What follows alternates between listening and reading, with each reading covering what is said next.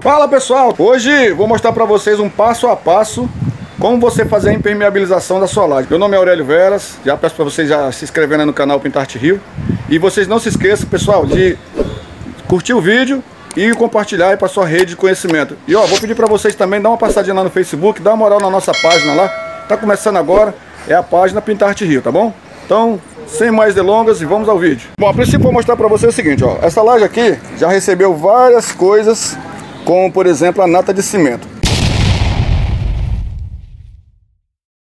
Infelizmente, pessoal, isso aqui é uma prática muito antiga que os pedreiros usam e até mesmo às vezes a pessoa, né, sem, sem muita instrução, ela acaba colocando a nata de cimento. O que é que vai ocasionar? O que é que essa nata ela vai fazer na sua laje? Só acumular peso e entulho, tá? Ah, mas uma nata não pesa, tá? Ainda que seja 100 gramas, ela vai pesar.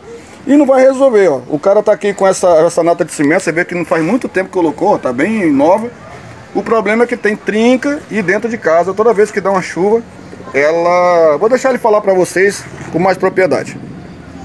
O que, é que a gente vai fazer hoje aqui? Qual foi o material que você comprou para tua laje? Então você procurou a loja para comprar o... Qual foi o produto? O elastimente? Elastimente. Tá, e o que está acontecendo na tua laje aqui? Então, quando chove, tá... A água tá chovendo mais, mais fora de casa, mais dentro, mais dentro. de casa, de casa é. que fora, entendeu?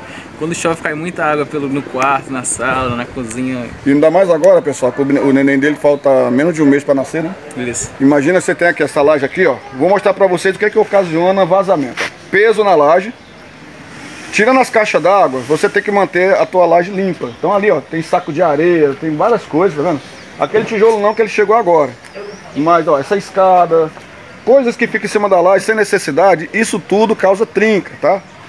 E outra coisa, esse tijolinho aqui, ó, desse beiral aqui, esse tijolinho geralmente tem que ser embolsado por cima. Então se você bota essa, essa contenção aqui de água da chuva, mas você só embolsa só por dentro e não por fora, a água ela vai penetrar no tijolo, porque é barro, tá? E vai vazar no beiral e que vai para dentro de casa. Então um dos maiores, ó, assim como o rejunte do banheiro faz um estrago numa casa de sobrado, na casa de baixo, esse beiralzinho ali sem embolsar o tijolo também causa um estrago muito grande em termos de vazamento. Não adiantaria nada eu colocar aqui o, o elastimente e depois disso não fazer no beiral o, o 45 graus. Então eu vou estar gastando dinheiro à toa e gastando mão de obra à toa e não vai resolver o problema, porque o 45 graus é muito importante também. Então sem muita conversa, eu vou mostrar para vocês o passo a passo. Primeira coisa aqui é o seguinte, ó. Primeiro passo a varrer, galera, vamos lá bichinho aqui. Vocês querem um passo a passo, hoje vocês vão ter um passo a passo top de linha para você impermeabilizar sua laje.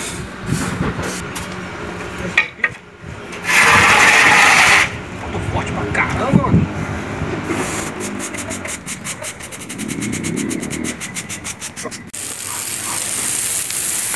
Agora pessoal, lavar para tirar ó, essa terra, né? Essa terrinha todinha. Lavar tudo, tirar o pó. Ó. Então o segundo passo é esse aqui, lavar mesmo a laje, sem pena. Depois deixar ela secar naturalmente, tá?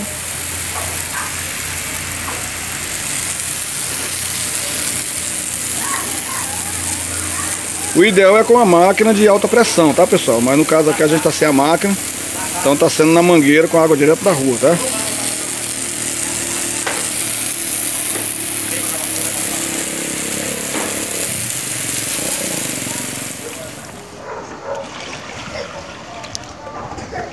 É galera, o sofrimento acabou, a gente conseguiu aqui uma máquina de alta pressão. Então pessoal, o primeiro passo é lavar aí, ó, com a VAP tirar todas as impurezas da laje.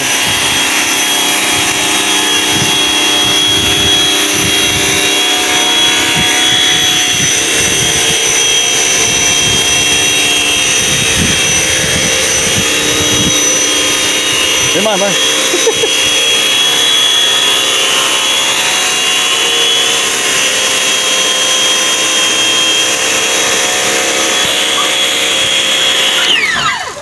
Ó, pessoal, a laje ela tá lavada, tá? A gente vai fazer umas correções aqui ainda para a água poder se localizar naquele cano ali, tá? Aqui, ó.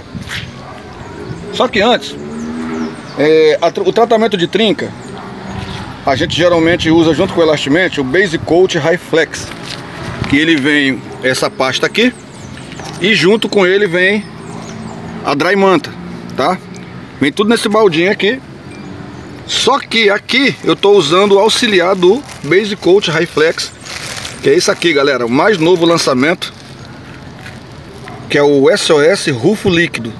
Com ele, ele já vem pronto. Você pega aqui, ó, super pastoso, tá? Então aqui tinha uma trinca, tá? O que, que eu fiz? Eu passei o SOS Rufo, tá? Não tem segredo. Você passa uma demão com uma espátula em cima da trinca, tá bom? Passa uma demão com a espátula. Aí do tamanho da trinca aqui, era um quadrado aqui, que era em cima da, das ponteiras de ferro da coluna aqui de baixo. Eu cortei um pedaço de manta, que é do tamanho desse quadrado aqui, e passei a manta, a dry manta, estiquei em cima do da primeira demão de SOS Roof. Lembrando que também pode ser o Base Coat High Flex, tá? Depois que eu fiz isso, eu passei uma segunda demão do produto, ó, assim, desse jeito aqui, botei aqui e estiquei em cima da manta. Então o que, que você tem que fazer? Você tem que esticar bem a manta para não criar aquelas barriguinhas. Você vê que ela tá bem esticadinha. Pessoal, depois que secar isso aqui, não há chuva que arranque. Lembrando que por cima disso aqui ainda vai vir o elastimente, tá bom? Então aprenda corretamente a impermeabilização de laje, tá? Você tem que caçar as trincas de toda a laje Aqui, por exemplo, eu procurei aqui, ó. Aqui é uma emenda de laje, que ela vai daqui para lá, ó. Então aqui também a gente está passando o SOS Rufo. Lembrando, se for trincas bem fininha, você passa ele bem com a cheia dentro da trinquinha. Se for uma fissura, aquela largona, aí você utiliza a espátula dentro dele todinho, passa, estica um pedaço de manta fora fora e você aplica de novo mais uma demão do SOS Rufo. Aqui, eu não estou colocando a manta nesse pedacinho aqui agora, porque quando eu aplicar uma demão de elastimente, depois eu vou passar a dry manta na laje toda e vou aplicar mais duas demãos do produto. Lembrando que a primeira demão do elastimente vai ser pura e a segunda vai ser é, diluído com 20% de água. Isso aí vai ser mais para frente do vídeo, tá bom? Ó, tô passando aqui o SOS Rufo nessa emenda, desse ferro de laje até o outro, tem uma emenda de laje tá? É onde passa uma viga aqui. Então a gente vai passar ele aqui e passar a manta de fora a fora. Pra gente dar um reforço. E lembrando que ainda vai vir a manta com elastimente, tá? Se você vai usar dry manta no elastimente, não é necessariamente você fazer o que eu vou fazer. Eu estou fazendo aqui porque é uma opção de garantia de, re, de reforço. Fazendo um reforço no trabalho aqui, tá? Aqui no pé desse, desse ferro, pode vazar também. Então a gente vai passar bastante aqui também no pezinho do ferro. Depois eu passar uma cheia aqui. Agora eu vou esticar a manta aqui, ó. Pode esticar a manta. Leva lá. O segredo aqui é você esticar bem a manta, não deixar ela criar barriga, tá? Eu vou até fazer melhor. Eu vou dar uma... Fazer ela entrar nesse ferro aqui. Pronto. Agora ele vai esticar lá, ó.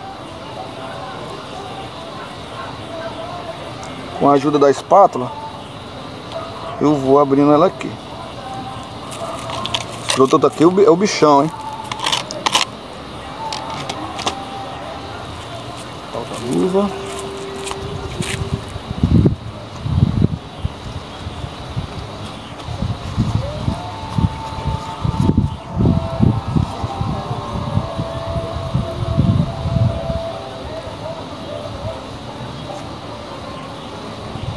Aqui, vamos lá.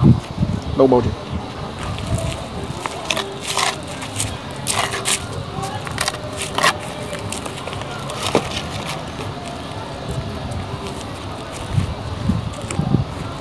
Essa é a dry manta mais fina que tem, que é pra gente poder fazer trabalho de reparo de trinca. Aí agora por cima, eu venho com ele aqui, ó. para fazer o reparo aqui dessa emenda de laje que tem uma trinca bem extensa. Então como tá querendo chover, hoje eu tô fazendo aqui um preparo, porque se eu aplicar tudo hoje, eu corro o risco da chuva estragar o meu trabalho, né? Então pessoal, basicamente é isso aqui, ó. Eu tô começando a fazer aqui, ó. Aqui tem uma trinca de fora a fora. Então você faz o que? Você vai esticando a mantinha,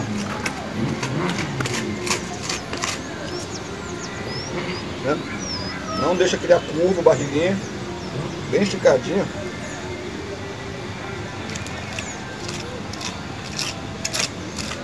Então isso que eu falei pra você, o segredo é aplicar uma demão, eu estou aplicando com uma espátula para ficar bem consistente. Lembrando que o SOS Roof ele faz o mesmo papel do Base Coat High Flex, tá? Você pode acessar lá o site e você vai ver a diferença de um para o outro.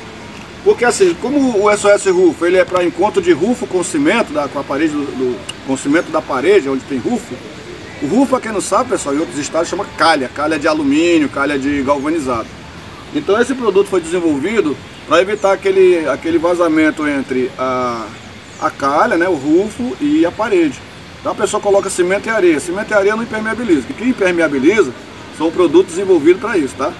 Então tá aqui, ó. Como ele tem um fim para um serviço mais complexo, eu então, basicamente, eu vi que ele pode ser feito esse trabalho aqui.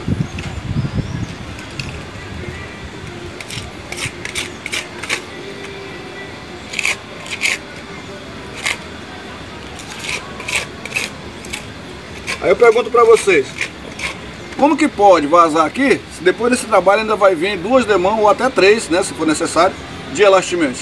Pessoal, não vaza. Então, pessoal, agora a primeira demão vai começar de lá, enquanto a laje vai secar para ali. Vamos seguir para cá.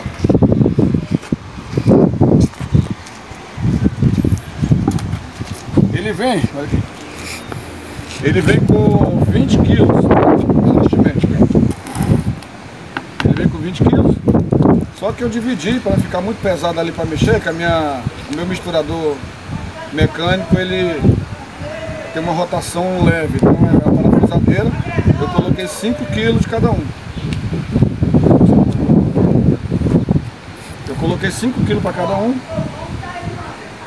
botei 5 kg do saquinho e 5 kg da massa, tá? Eu mexi aqui e agora a gente vai começar aqui fazendo aplicação. Aplicação é com ele puro, tá pessoal? Só a segunda demão para frente que a gente dilui, dilui com 20% de água. Aqui, ó.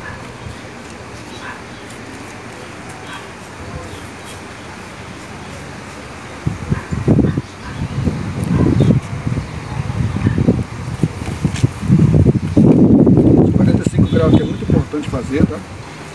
Tem que preencher tudo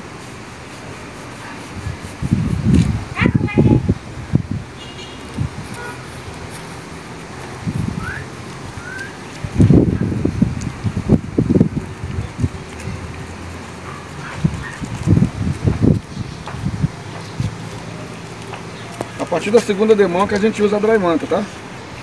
Na aplicação você vê que ele fica verdinho, mas depois que ele seca ele vai ficar da cor de concreto. Tá aí pessoal, primeira demão.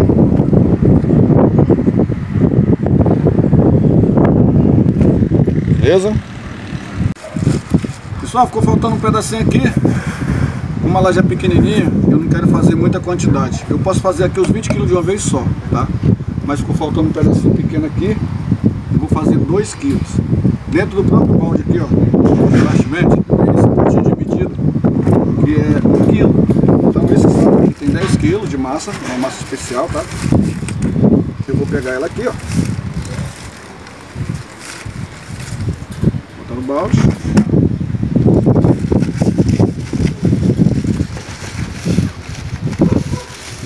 Mais um.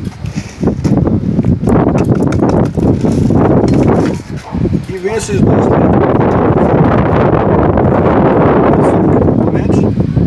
A primeira demão, como eu falei, a gente não mistura água, é direto aqui com o produto. Bom, você já deve estar cansado de ver esses vídeos aí na internet, mas eu estou fazendo esse passo a passo desse vídeo para você não ter mais dúvida.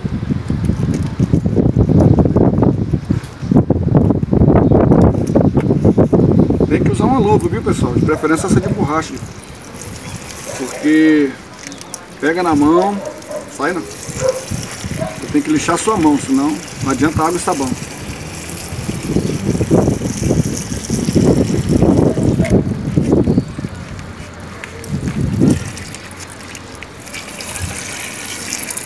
Está aprendendo aqui na prática, na paciência, como preparar o elastimente.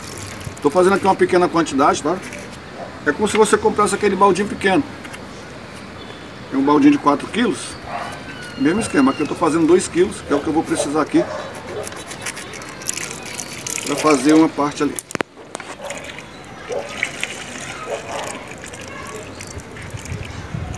Pronto.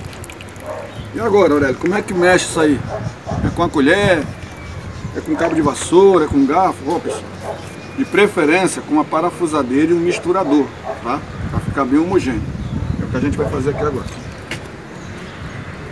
Aqui, ó. Já tá bem velhinho, mas tá funcionando.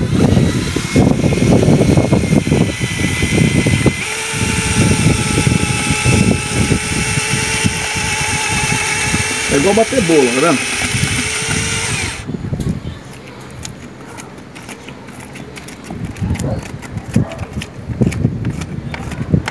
Aqui.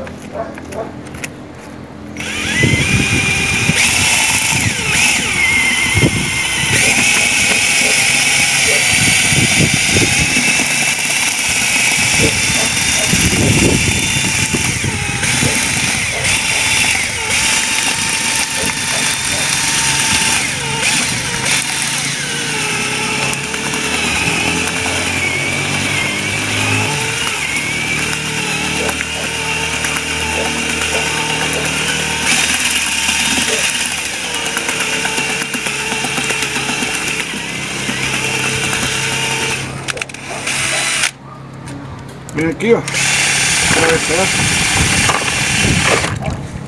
Primeiro para tirar o excesso, que ó, o bicho é pegajoso, olha aqui. Bom, pessoal, com tubo de 100, ó, já apliquei aqui uma primeira demão, tá? Agora com tubo de 100, eu tô enrolando aqui a dry manta.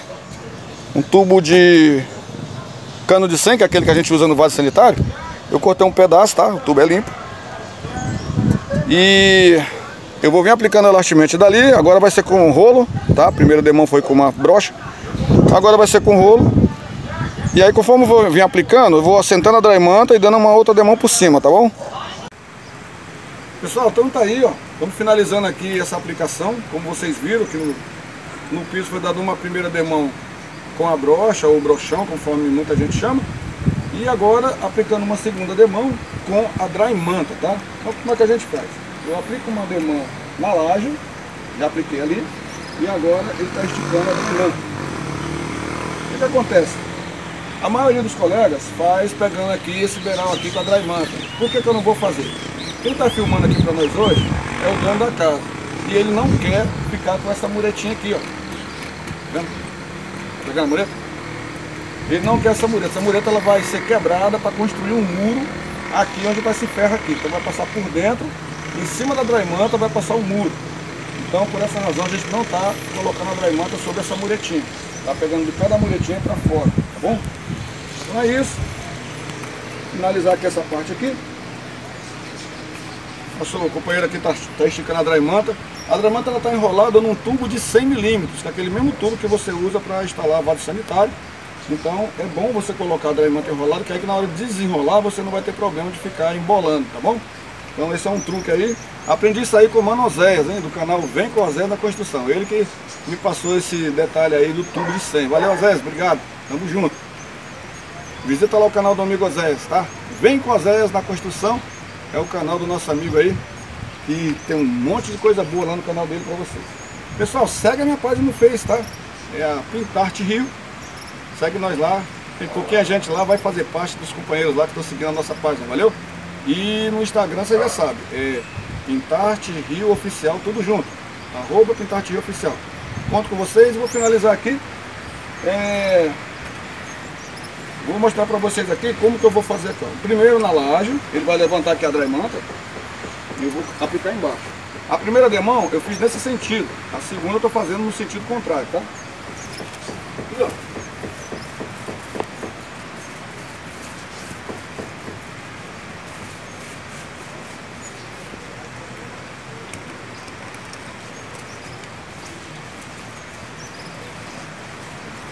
Pronto. Agora ele vai abaixar e vai esticar.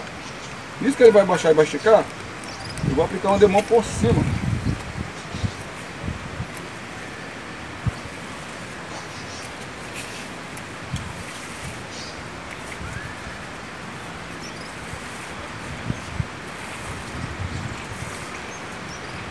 Uma demão bem generosa.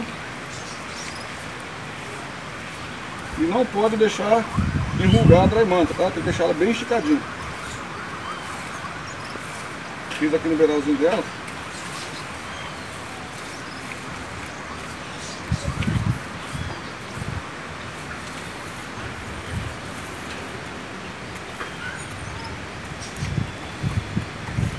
E assim vai prosseguindo o nosso trabalho. aqui já está secando. Tá? Depois que secar, a gente dá mais uma rolada em cima para garantir ficar bem top. Essa era a região que estava vazando bastante. E agora, se Deus quiser, não vaza mais. Tá bom? E é isso, pessoal. Esse é o nosso famoso Elastimente. Você não vai se arrepender. São mais de dois anos trabalhando com a Dry Leves e a gente não tem problema com clientes. Os clientes são super satisfeitos e tem bastante elogio lá no site né, da empresa. E sem contar com o atendimento também, é show de bola. Sem muita, muita delongas, muito obrigado aí por tudo e até o próximo vídeo. Valeu! Escuto, velho.